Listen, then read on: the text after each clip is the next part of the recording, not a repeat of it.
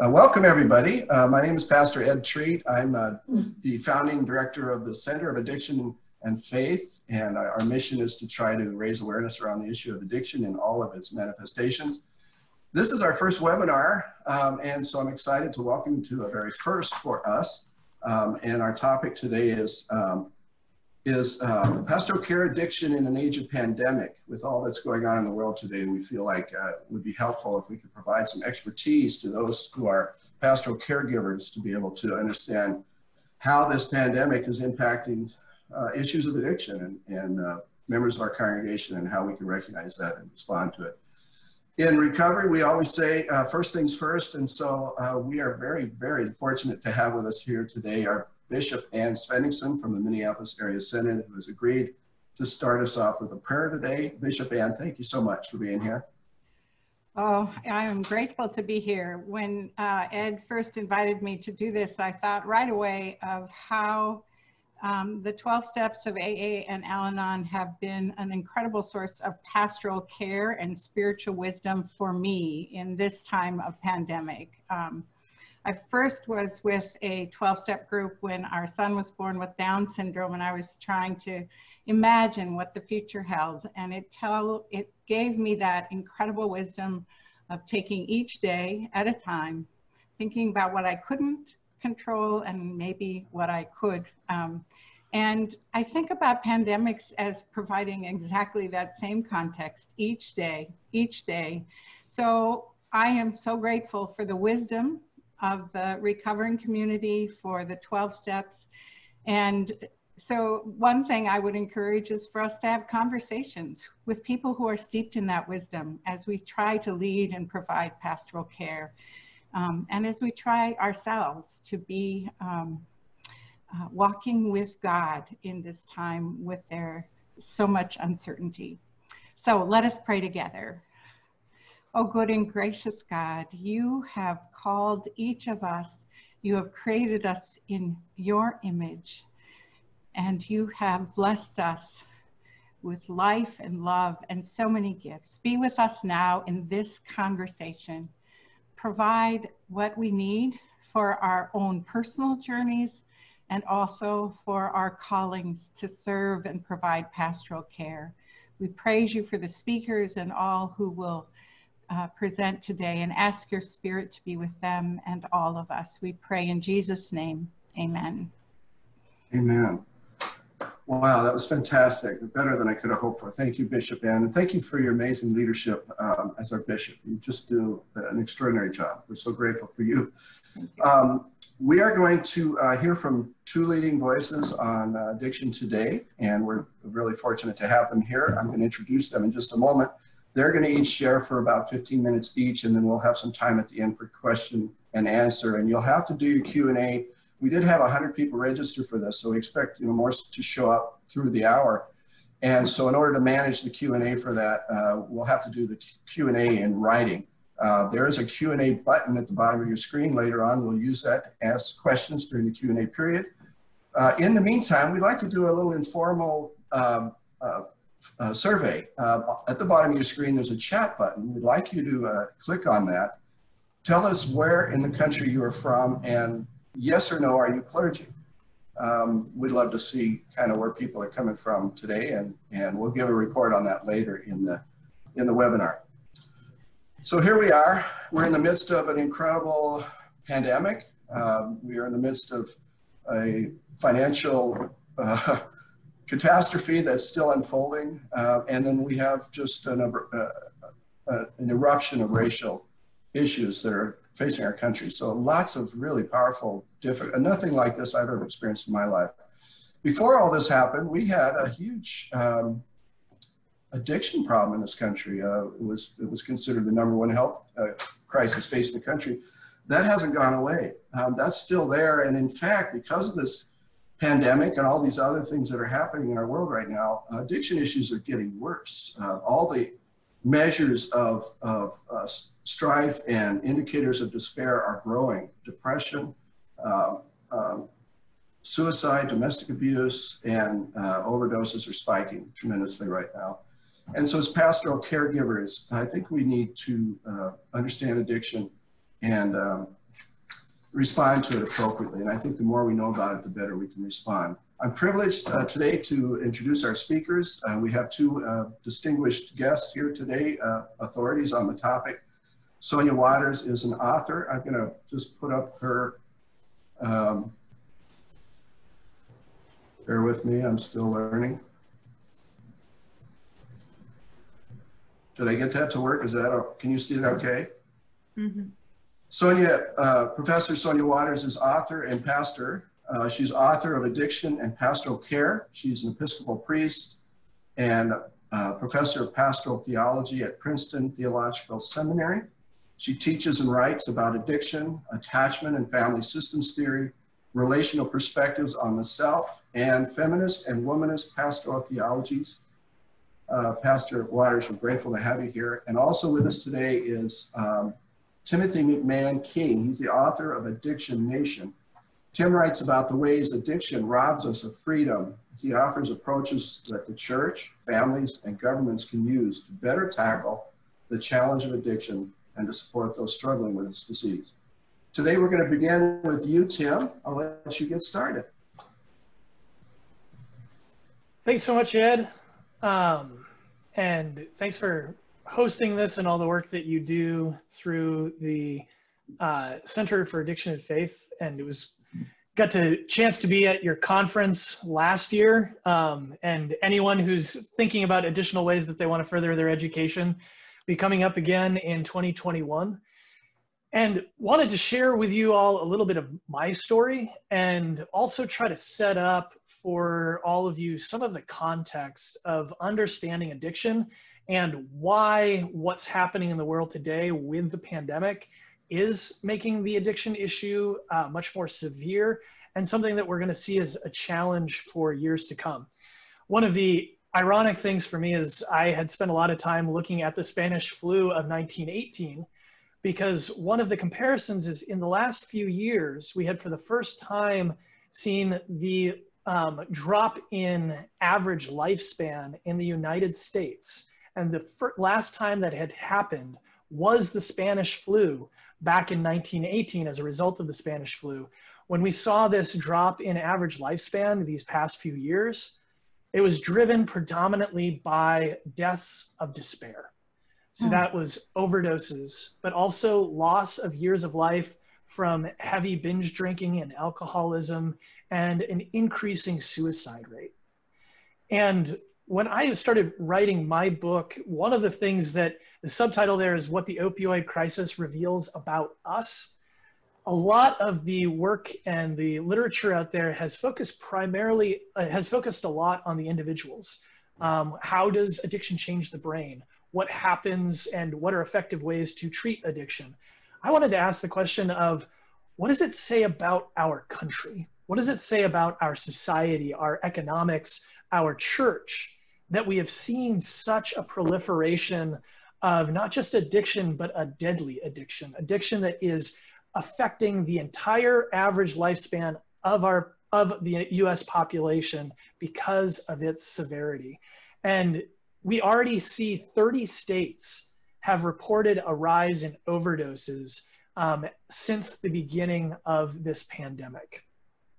And so I want to briefly tell a little bit of my story and try to hit on a few points of some of the forces that are driving this. It won't be comprehensive, but hopefully it's a glimpse into some of what we're seeing today. So for me, it was about 10 years ago, I went into the hospital for what was supposed to be a routine procedure, um, and it went wrong. It was a scope that was going down, and they were trying to look at my pancreas, and instead of just looking at it, the doctors actually hit it. And that caused acute necrotizing pancreatitis. I went into acute respiratory distress, my organs were shutting down. I was in the ICU, and the doctors told my family to come down and visit because this might be the last chance for them to say goodbye. Now, I pulled through, but at the same time, after a few months in the hospital, I was on levels of opioid pain medications that were normally reserved for people at the very end of life. and it was medically appropriate at the time. The doctors actually didn't, they didn't do anything wrong by prescribing me those medications. I needed them but it was really clear what was happening while I was in the hospital and the challenges, medical challenges I was facing. What wasn't as clear and what was harder to navigate was that during that time, I was also developing an opioid addiction. And unlike a lot of other stories, mine actually did not spiral down out of control. It did not end with a devastating effect in my life. And I owe that in part because I had a doctor who understood what addiction was. And so many people, even though they're in the medical profession, profession have older ideas of addiction and what it looks like and how to approach it.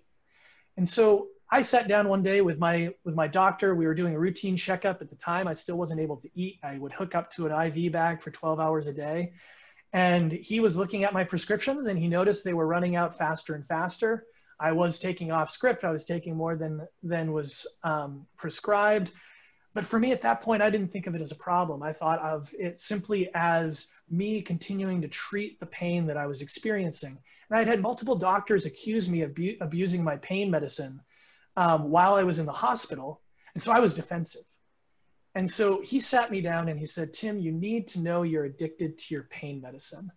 And I was ready to fight him. I was ready to give him all the excuses about why I wasn't abusing my pain medicine, why I still needed it. But then the next thing he said was, But you didn't do anything wrong.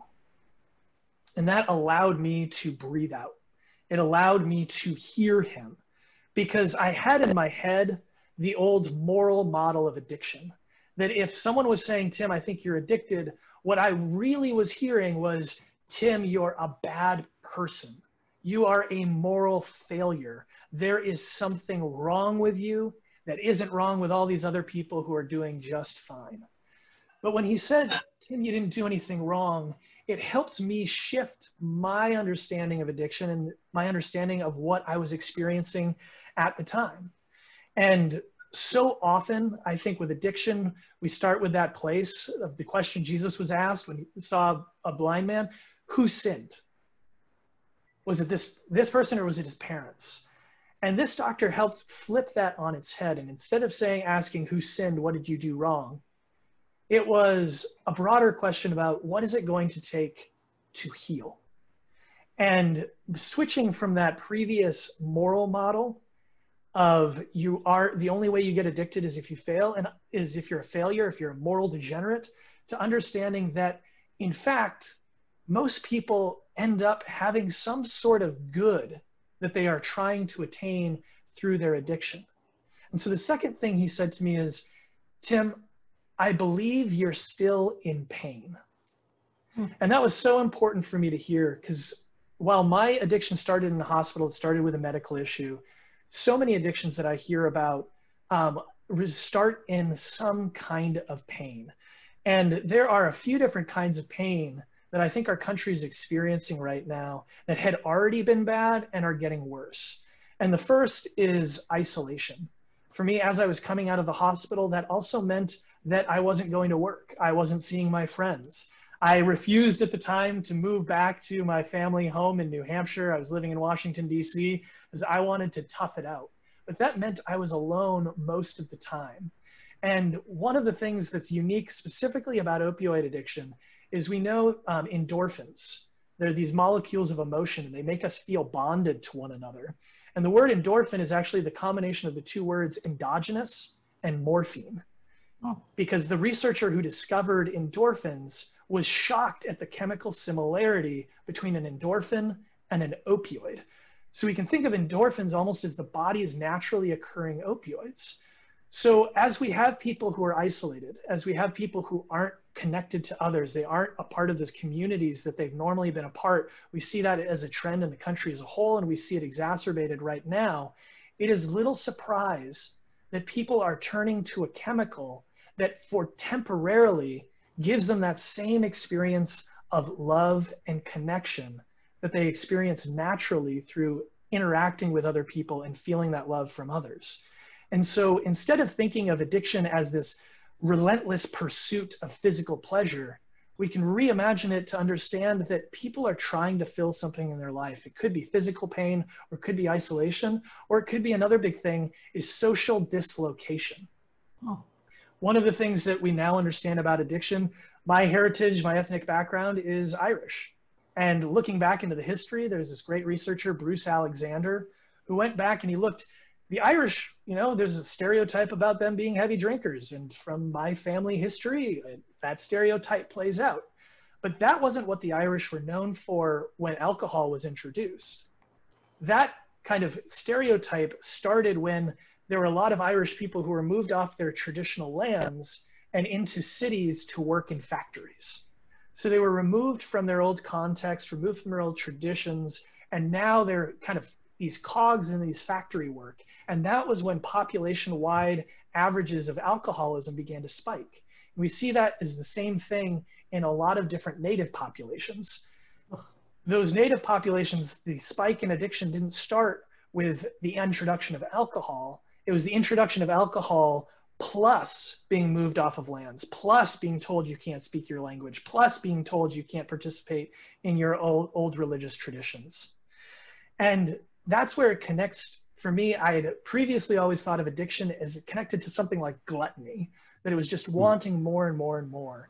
And i think the best kind of religious term that we actually have is a term called acedia. Sometimes it's translated as sloth but it's really understood better as a little bit more of a lack of hope a sense of despair at the world. And when we think of addiction and what's happening today as we see people losing their jobs and no longer feeling agency, no longer feeling like they're in control of their life. People who are at despair about what's happening in the country. All of these things can contribute to a society that has a fertile ground for addiction. And the final thing that my doctor said that day that I, I was not expecting, um, especially because he was a pancreatic specialist, is he asked me, Tim, what does a full life look like for you? And he started to ask me about my job, my career aspirations, my family, my friends. And what he understood that I didn't realize until later and saw the research is that the kind of sustained change that living in recovery is, that ending, the, that moving past that addiction is, is not so much a no from an outside force to a particular behavior or to a particular substance. It ends up being a yes to a life that is full, to a life that is good, to a life that has meaning and purpose. And one of the things that I hope we see, and we're seeing this right now, a lot of calls for criminal justice reform, for rethinking what role do we want police to play in our society? Do we really want police to have to be the first responders for every addiction or mental health issue? Police officers I've talked to have actually said, I'd love to not have to be the first responder for every mental health or addiction issue that comes, comes our way in our town. These calls are helping us rethink we've been focusing on addiction and drugs in the wrong way for too long. One of the things that I believe as a Christian is one of the greatest transformative forces in my life was grace that I was given, mm-hmm. not punishment and that what I see in the cross is the ultimate outpouring of that grace, and that we are not in a universe that is defined with force and violence being the most powerful ways to create a full society and flourishing people. And this has been borne out in study after study. There was one study in Baltimore of IV drug users, thousands of them participated. They were tracked over the course of 10 years. And the most significant deciding factor on whether or not someone was continuing in their addiction was not the treatment they received, but whether or not they had gone to prison. And if you went to prison, you were significantly more likely to continue using than if you had gotten into an alternative treatment plan and stayed out of prison.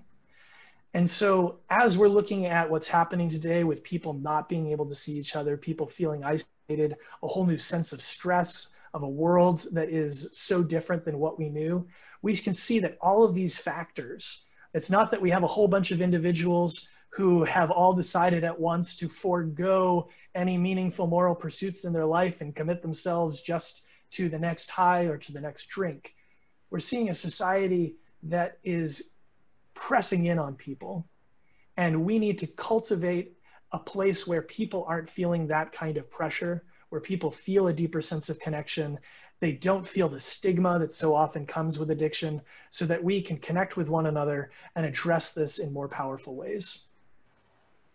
So I want to hand it over now to Sonia, who is going to help tee this up with, she's got a lot of experience specifically in working with pastors and training ministers, and also some more of the factors that are going to are going to contribute to addiction in our country today. So Sonia, I will go ahead and pass it over to you. All right. Hello, everybody. I'm so excited to be here today.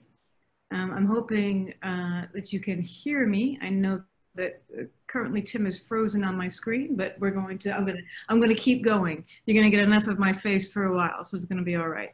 So, um, so I, I'm, the first thing I want to say, of course, is thank you to Ed for inviting us and check out Christianity and Faith and, and all that it is doing. And also to, to Tim's final point, check out um, Clergy for a New Drug Policy as well.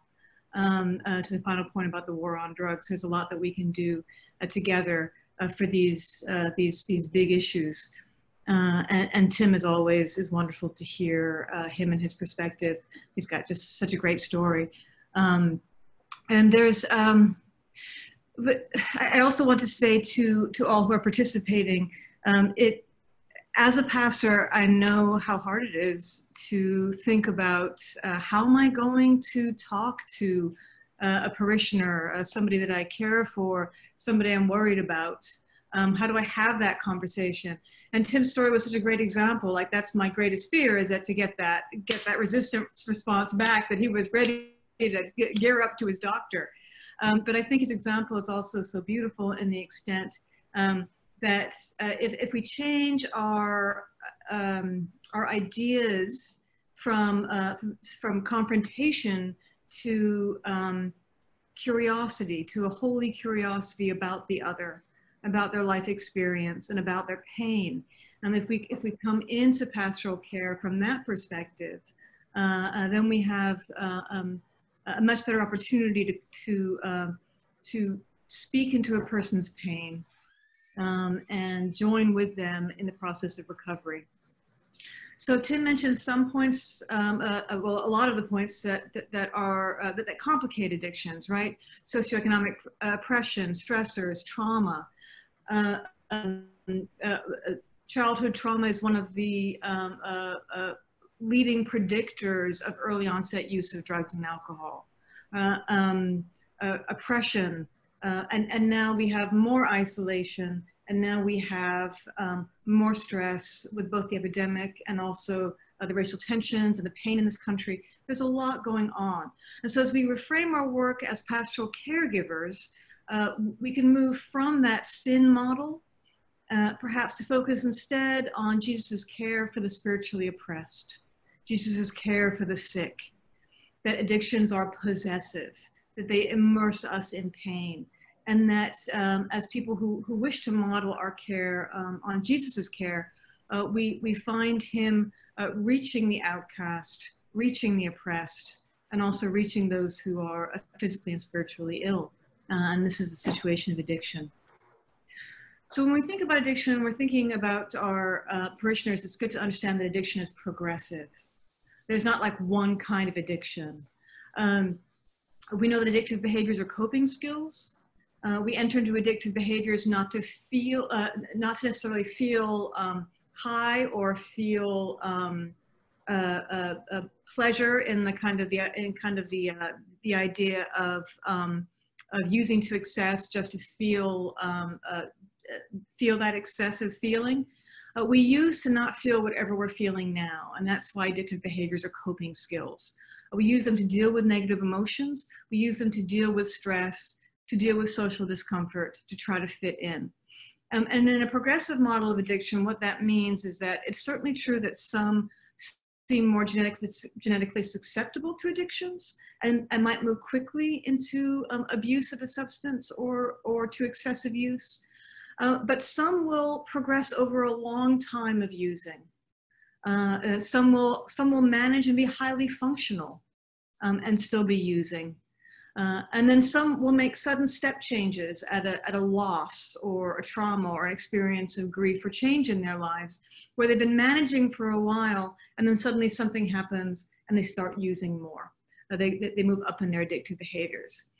Others can uh, move back and forth in their problematic um, behaviors uh, throughout their lives um, and be kind of sub, uh, subclinical, um, uh, not quite get an addiction diagnosis, um, but still be en engaging in behaviors that affect their lives deeply and affect their health as well. So when we think about this progress, then we, you can get an idea about why um, uh, this pandemic is a problem. Uh, it, one, because of the greater stressors that are, that are put upon our lives, the greater anxiety, um, but also because suddenly our schedules have changed. Not only are we isolated, but we have a lot of time on our hands, or, or potentially worse, we're trying to deal with uh, partners and children and work all in a, in, in a, um, in a small space and yet without the structure of our habitual lives as they usually flow. So if people are, are fairly functional in their addictions or perhaps have problematic behaviors but kind of have them under control, that added stress, uh, but also that, um, that change of schedule and, and that, um, that change of predictability uh, can up behaviors. So I don't know about your neighborhood, but what I hear a lot in my neighborhood are people are just gathering to drink like just about every night um, with social distancing gatherings um, on the streets. So it's, so it's this idea that um, we just, we're just stressed out and a drink will make us feel better. This is the same for behavioral addictions as well, right? We're stressed out. I'm, I'm going to lose myself uh, looking at pornography um, uh, I'm stressed out, I'm going to um, eat in a kind of numbing uh, way in front of the TV, or I'm stressed out, uh, I'm going to gamble or game online um, uh, until for hours and hours to get out of my head. So all of these behaviors are entered into for coping skills, uh, and stress is a, a major way that we enter into them. Uh, and also um, stress uh, leads to relapse as we're trying to get out of them. Um, as we experience more stress, we don't know what to do, we engage in the behavior again.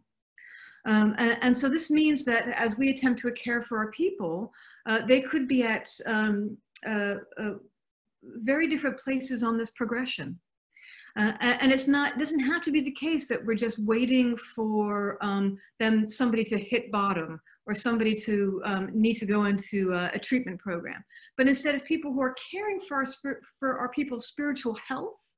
Uh, what we can be looking for um, are, are, are signs that they may be engaging in escapist behaviors uh, a little bit too much uh, signs that they may have progressed uh, if they were already a little bit problematic in their drinking or in their substance use, um, or um, the most extreme signs that they are that are really decompensating. They're really having a hard time uh, um, managing their use and their lives together, right?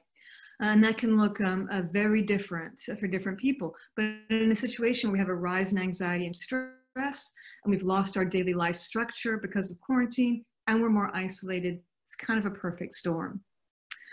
Right, so as, as, as you're checking in on your people, back to that wonderful example that Tim gave of his doctor, as you're checking in on your people, it can feel intimidating to to confront it because because we're used to these those TV shows where it's like some kind of big intervention, right? Um, I'm going to go in there and I'm going to say this is what you're doing wrong, and then I'm going to read scripture at you. It'll all be okay. Most of us uh, realize that that probably won't be okay um, uh, unless you have somebody. Uh, it's certainly possible you have somebody ready to hear that. You know, uh, the Holy Spirit works in, in, in many ways. Um, but usually, what we can think of instead is that you are taking care of the whole of the person's spiritual life. And what that means is that we might just kind of enter in with some language of noticing. Uh, again, kind of coming alongside a person, uh, not judging the behavior and making it about the behavior as much as being curious about why it is there. What's going on with you? How are you doing? It seems like you're out on the lawn with the drinks every night. Um, what's going on with you? Is it getting hard for you? Uh, what might you need to get by? Uh, we, we might get senses where, let's say, we're doing uh, like board or vestry meetings, whatever your committee meetings are on on um, Zoom and we start noticing that some of our parishioners may perhaps have drunk a little bit too much or a little bit affected in some way before they come on the Zoom, right? Uh, this is an opportunity to, uh, not to say you're this, you're that, but to notice, to come alongside, to try to open up that conversation. Seems like you're having a hard time. I noticed you seemed a little bit out of it on the Zoom. What's going on with you? Uh, and, and then see if we can enter into a conversation. We start getting a little bit more information about what's happening in their lives. Uh, it, it's also uh, uh what um, uh, what Tim's wonderful doctor also seemed to do. It's this kind of idea of um, uh, returning the problem back to the person, right? So so what we do is we offer feedback. It seems like um, I'm getting worried about your behavior. Um, I love you. I'm a little bit worried about your behavior. What do you think? We then return it back to them. What do you think? Um, so, so that rather than us kind of taking the reins and making an us them kind of problem, we kind of skirt around that by offering our concerns and then returning the problem back to them. The problem is not mine, right? This person belongs to God. They are completely under the sovereignty of God. Not my problem, but I am uh, uh, the, the, caregiver who, who wants to take care of and know what's going on. So I'm going to offer my concern, but also return responsibility back to the other person. Otherwise, what you'll notice, and this is a motivational interviewing um, uh, um, help, um, helpful fact, is that when you uh, when you argue with somebody who's ambivalent about something, it just strengthens um, the other side in their head, right? Remember this with your spouses and partners because uh, it works for that as well, right? So if you're going to argue with someone about how they should do something, um, they're most likely going to be starting to think about all the reasons why no, indeed they should, and how you don't really understand them, they have it under control, why are you bothering them? So we're attempting to uh, avoid that kind of power struggle um, by coming alongside, but um, and all and noticing, and also by offering feedback um, and returning uh, the problem to them so they know it is indeed theirs to figure out. Uh, indeed, it is theirs to figure out whether or not they have a problem. Uh, you are there to, to love them to, and to notice what you notice and give the feedback that you give. Uh, and so these are some ways that we can start to be curious about not just the behaviors, but the pain under the behaviors. What's going on with you? Um, well, why is it so hard? Uh, how can I help? How can our community help? How can we come along? How can we all come alongside you in this situation? And so, uh, and so we're a little bit um, uh, more gentle, uh, and yet we don't avoid. We don't avoid, uh, because this person belongs to my care, and so I'm going to ask them how they're doing. Uh, the, the other way that we can sort of enter into these conversations is notices, noticing some change uh, we might um, suspect, we might not have seen somebody on Zoom um, um, sneaking the beverage um, on the side, but we might suspect that they're more erratic, more secretive, have a shorter, shorter attention span, have a shorter temper. Uh, we might notice physically that they, that they look uh, uh, pale or more clammy, more sick. Um, they might share with us, oh, Pastor, I'm, I'm just so stressed out, I can't sleep uh, issues of sleeping, issues of eating, waking up at 3 a.m. and the mind going and they can't control it. Um, one thing about addictive behaviors uh, that it's good to let people know, um, you can say you learned this at a great webinar, um, that it's good to let people know um, that we enter into these behaviors to manage stress, uh, but quite quickly over time, uh, they actually dysregulate our stress. Um, and this is what is particularly demonic in my mind about these behaviors, is that they tell us, you're in pain. I can relieve your pain. It's just for a little while. It's all right. But in the end, they actually cause more pain by dysregulating our stress system. They do this in, in a lot of ways, uh, for which I do not have time to explain um, completely. But um, what you can imagine is as they change their brain, uh, as they change the person's brain, as, as one suffers from craving and withdrawal, as one suffers uh, the recovery of a hangover um, and then and then returning to intoxication as one suffers more and more uh, pile-ups of personal problems and distance from a spouse a distance from uh, problems with children. Our stress gets dysregulated so you'll find people who are not sleeping well. Uh, you'll find people who are, who are misunderstanding, so complaining about these problems that they're having with their spouse or partner, and you're like, hmm, sounds like something's going on there. Uh, so always sort of have in your mind that um, that stress, um, uh, that a pile up of problems, erratic behavior, secrecy, all might signal something else. And we might want to be curious about that. Have you been drinking a lot? Um, is there something that you're that, that you're doing to, to, to manage your stress? What are you doing a day? Um, uh, how, are you, how are you coping? Uh, and, and, and maybe ask some questions about their behaviors. Um, because it might be that we learn um, uh, from the behavior because, it, because their behaviors are changing, right? Uh, so uh, in, in, all of this, just, just to finish up, uh, because I'm going to be so good about my time, uh, just, to, just to finish up, um, what I want to, uh, what, what is most important as pastors, right? What is most important as pastors is not only that we care, uh, that we have a holy curiosity for the whole experience of another, but that we remember that they are ultimately under the sovereignty of God. Uh, uh and why this is important is that, uh, as much as we don't want to admit it, uh, when people don't change, we don't like them as much. Um, and when they don't take our good advice, we get a little annoyed at them.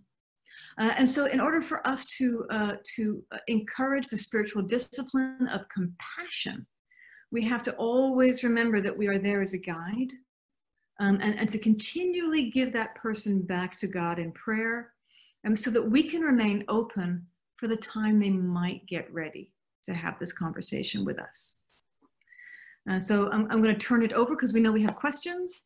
Um, and, and thank you so much for, uh, for, letting, for letting me share, as they say. Thank you, Sonia, and thank you, Tim. I'm, um, I, you know, I'm sitting here thinking, how do we applaud for you guys? This, uh, both of you are just outstanding, and uh, I, am watching the participants. Nobody has left. Everybody stayed and listened to you. So, um, very nice presentations, and I could totally rate to you both, and could keep listening to you. Uh, just so folks know that these two will be our keynote speakers at the Addiction Faith Conference in February 2021. And by then, the coronavirus will be all gone and we'll all be back to normal, right? So we should have no problem.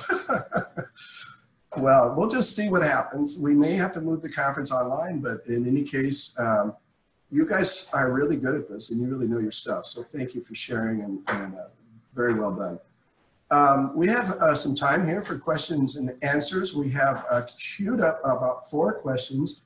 Um, and I'm not sure quite, we have, we're new at this, so we're figuring it out as we go. I'm not sure if you want me to pose the questions or you guys both can see them, correct? Um, can you see the questions? If you click on the Q&A button, for those of you listening, participating, there is a button at the very center bottom of your screen. If you're on a desktop or a laptop, um, that's Q, it says Q&A. And I'm not sure where that button is on other devices, but I'm sure there's one somewhere. You click on that, you can uh, write a question. Right now we have four questions lined up. Uh, one came in early. And I'll read that and I'll just let you two decide which one of you wants to take it. And I may chime in too, possibly. But uh, this question is from an anonymous attendee. And he or she states the 12 steps have been successful tool in helping individuals overcome addictive behaviors and are great principles to live by. There are other tools and approaches that utilize science-based and non-spirituality focused tools and approaches but still include the primary benefit of community and fellowship. How have you enhanced your approaches to welcoming, uh, to be welcoming to addicts looking for recovery, community, but non-spiritual tools and approaches? Interesting question. Um, have either of you had any experience with this? Can you speak to it at all? Or yeah, um, a few thoughts there. I actually have not been a part of the 12-step tradition that was not a part of my recovery story. Um, the approach, and Sonia mentioned it, uh, that my doctor was trained in, and I didn't even know it at the time. I didn't know what it was called. It was motivational interviewing.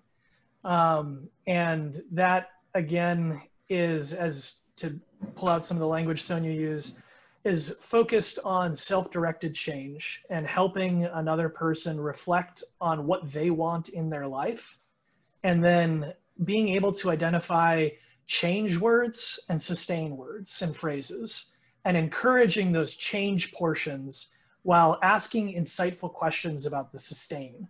And it was developed by a doctor, uh, Dr. William Miller, um, fantastic uh, writer, thinker.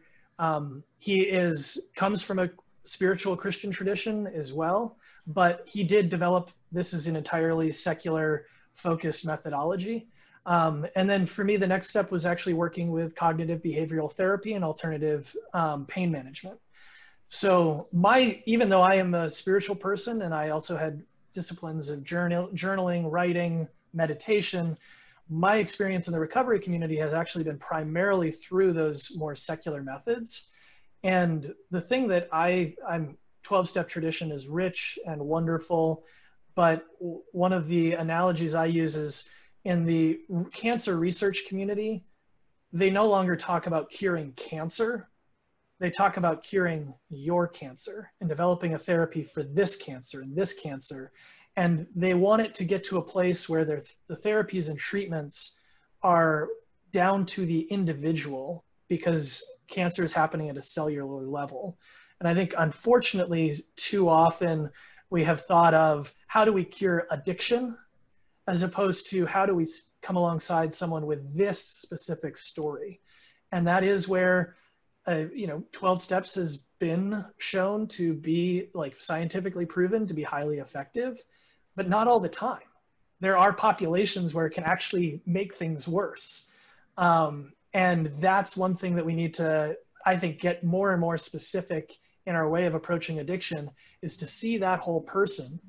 And, you know, Bill Wilson was a white guy banker who was used to feeling powerful. And so it makes sense that one of the first things that he was learning was how to deal with his feelings of powerlessness. But especially in like in working with different populations that have been traditionally oppressed or people who have been abused, um, that might not be the place to start. And there might be more culturally specific, context specific, specific things to that person's life journey that might be a better way to address and help them in their addiction than a, kind of thinking that AA is supposed to be one size fits all. It's not. Very nice. Sonia, have anything to add to that? mm, no, absolutely. I, I think I, the, the issue of recovery uh, for me is an issue of emotional regulation. Some people find emotional regulation tools and coping tools uh, through spiritual avenues. Uh, right now, really popular is mindfulness meditation as well, which is somewhat which is sometimes seen as spiritual and sometimes just seen as pragmatically um, useful. Um, uh, uh yoga as well, um, uh, uh, individual counseling and cognitive behavioral kinds of, of, of ways of, of noticing where your triggers are and how to respond to triggers. So there, so these are all questions we can also talk about um, uh, in, in our congregations or as wherever we wherever we lead our care. Very nice. You know, I, I was thinking, um, I, and I'm getting way more to, I used to be like a, a one size fits all AA guy, but I'm totally not anymore. I just know that everybody comes from a different perspective and that there are, there are numerous approaches to recovery now. And uh, we'll be featuring many of those on our website and we'll be inviting those to our conferences so that people can know the whole array of possibilities. I think probably what has struck me in more recent years, uh, and Tim, you had a name for it. I can't remember. Was it the happy rat theory? But uh, this whole uh, restoration to, did, I, did I get that right? You guys are laughing. So the rat park, the rat park. rat park. Rat but you know, the, the, uh, you can explain how that worked, but uh, the implications of that are tremendous because it's really, uh, addiction is a disease of isolation and recovery is a, return to community. Um, that's so biblically based, uh, Christ-based, but, but that rat, happy rat theory really kind of uh, undergirds that and says, yeah, you know, recovery is a slow, long, slow process of coming out of isolation um, and returning to community. And so that can take different shapes and forms. But the important thing is that we have a community that holds us accountable and that we're accountable to and that, and that gives us purpose and meaning in life. So I'm going to move on. We've got a few other questions here. Um, there's a question here for, uh, for you, Tim, Mr. King, he calls you. Uh, how, and I'm going to, do you have, are you able to pull this question up? Because yeah, we, can um, we can all see it. Okay. I'm reading it. Um, I'm not sure I want to read. It's it's a somebody with some really big brain power here is asking this question. Uh, Mr. Mr. King, how about framing the Native American historical social dislocation as aided and abetted by white paternalism supremacy, and racism. How about considering this social violent force creating the constant and continuing social dislocation fueled by addiction experienced with communities of other cultures and communities? Do you want to take that on here? Yes, and Okay. I think I think it's a very important comment, and you know, so important just so anyone who's here knows. We just, as we were discussing this, we had been thinking about this webinar for a while now and wanted to go ahead with it. But as soon as everything started happening with the um, killing of George Floyd, Ahmaud Arbery, and uh, Breonna Taylor, we also the other thing we said is all right we need to get one planned specifically addressing race and addiction um, because this is a huge factor um, the the violence that was perpetuated against indigenous people people and anyone any of non-white groups in america has been huge. And this from the beginning of american drug policy in the 1880s it started the first drug regulation act on a federal level was specifically going after opium smoking.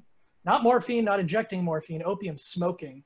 And that is because um, there was fears of chinese immigrants the railroad was done that they were taking american jobs and there was fears of them marrying white being with white women miscegenation and that was why the um, the ban was passed on opium smoking, which then led to the Chinese Exclusion Act.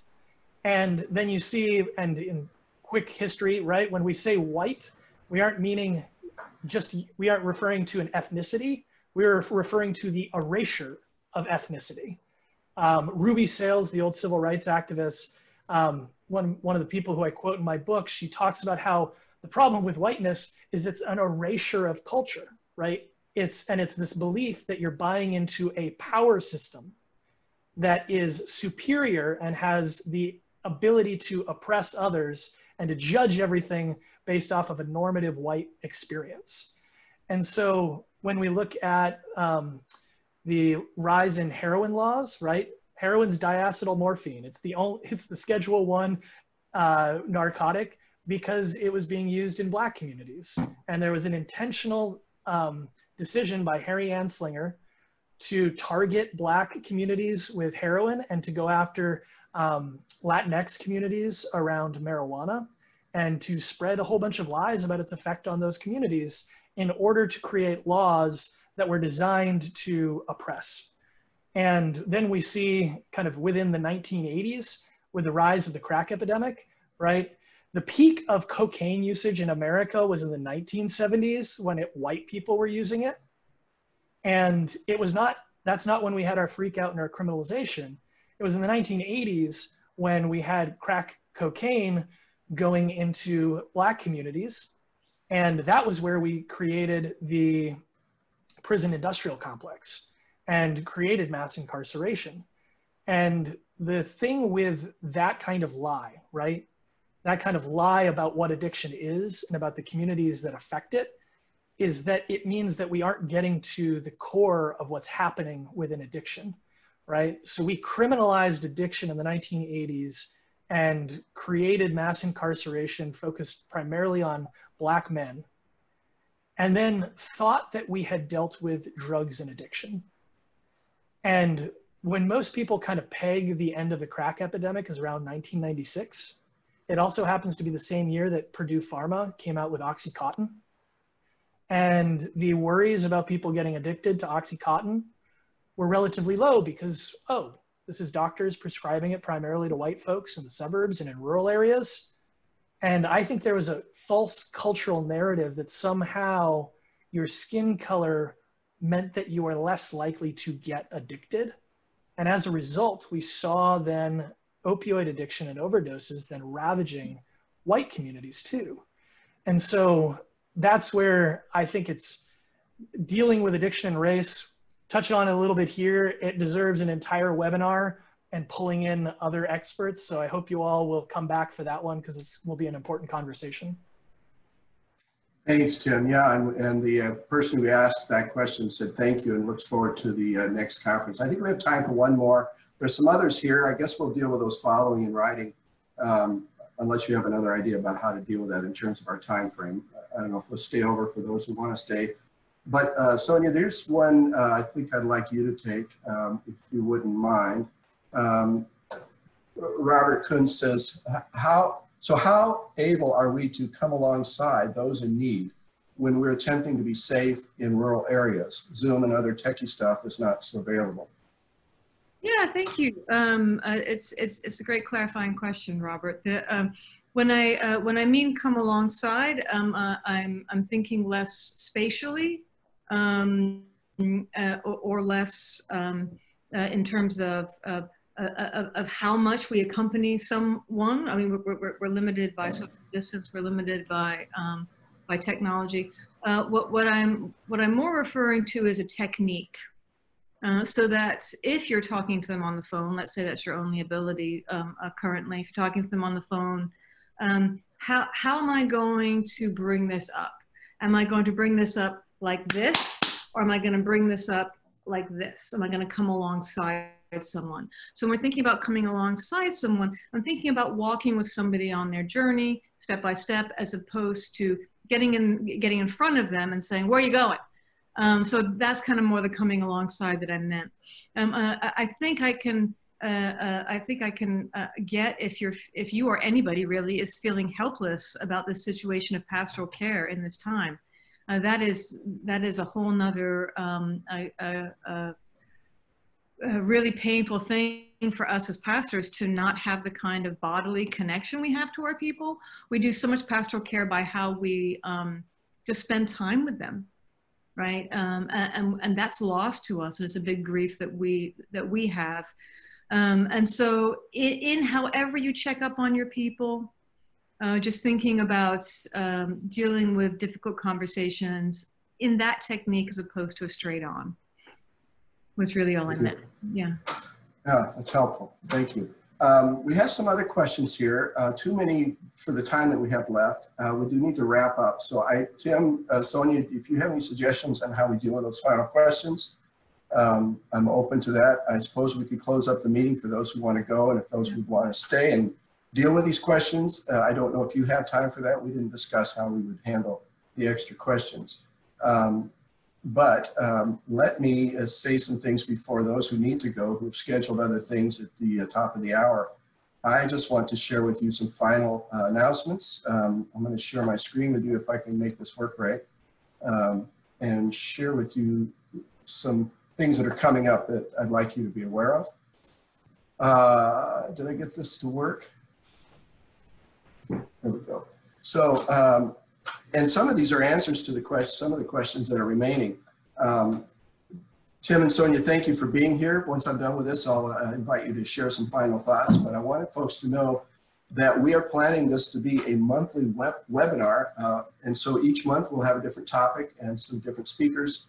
Next month, July 23rd at this time, so it'll always be the fourth Thursday of the month from one to three, uh, one to three, is that right? No, it's an hour long.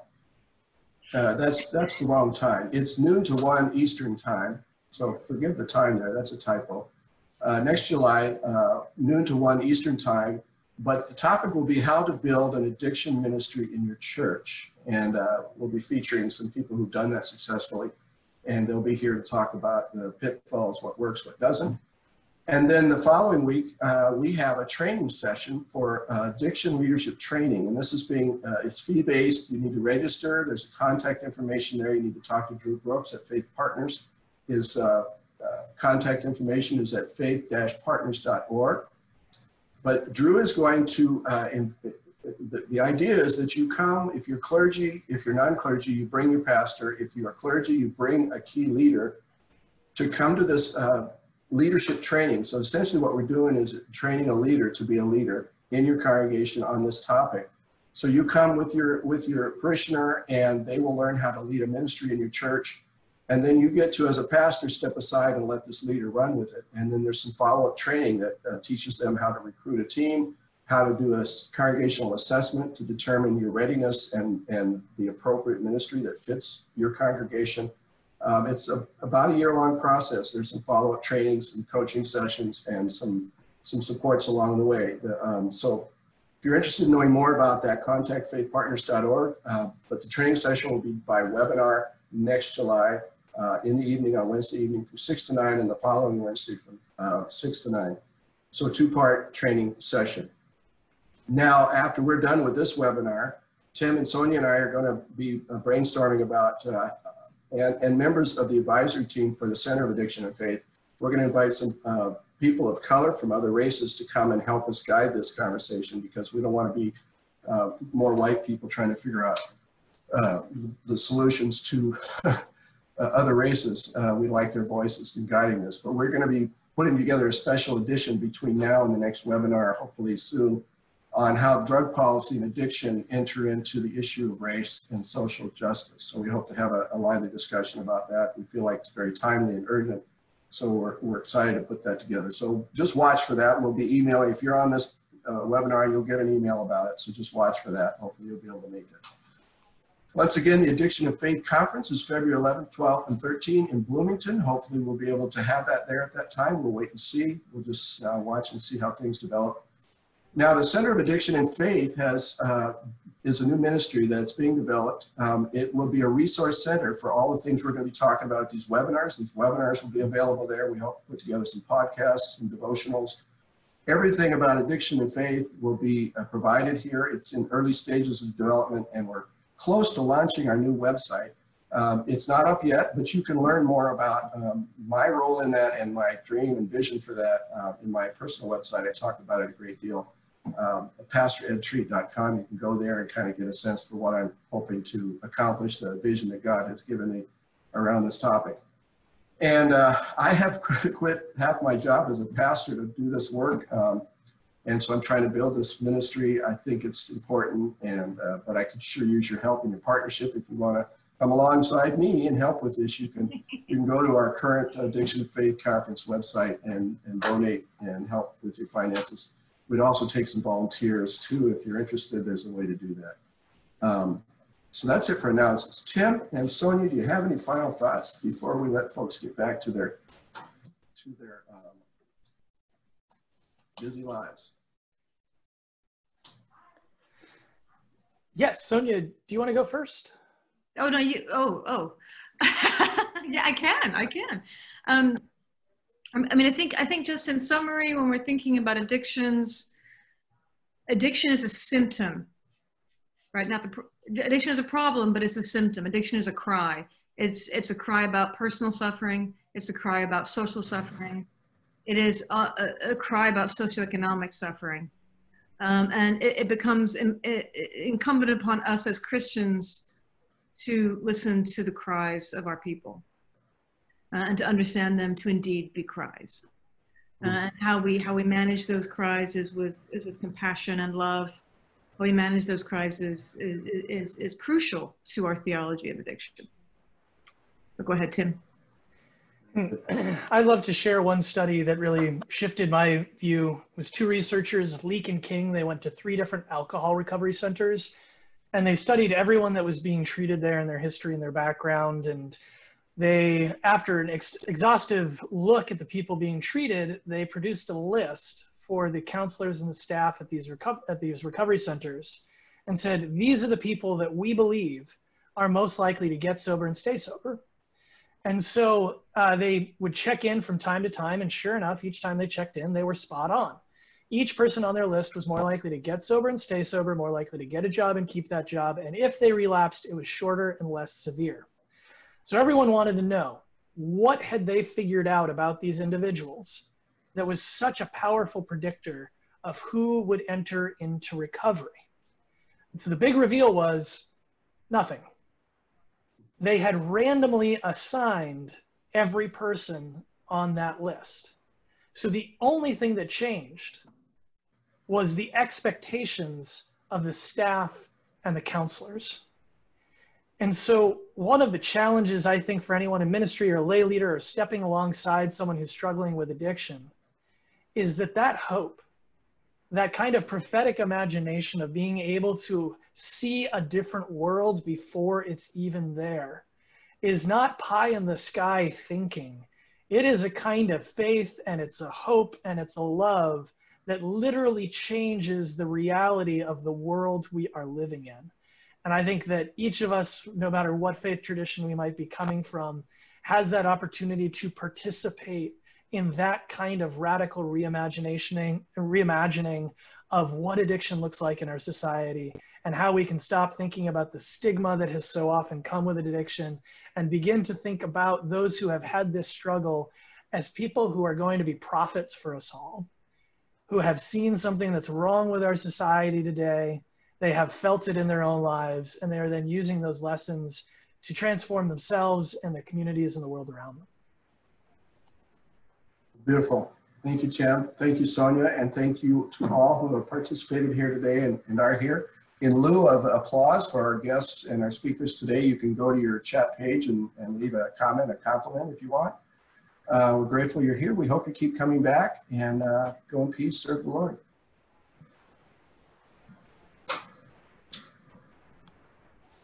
Tim, Sonia,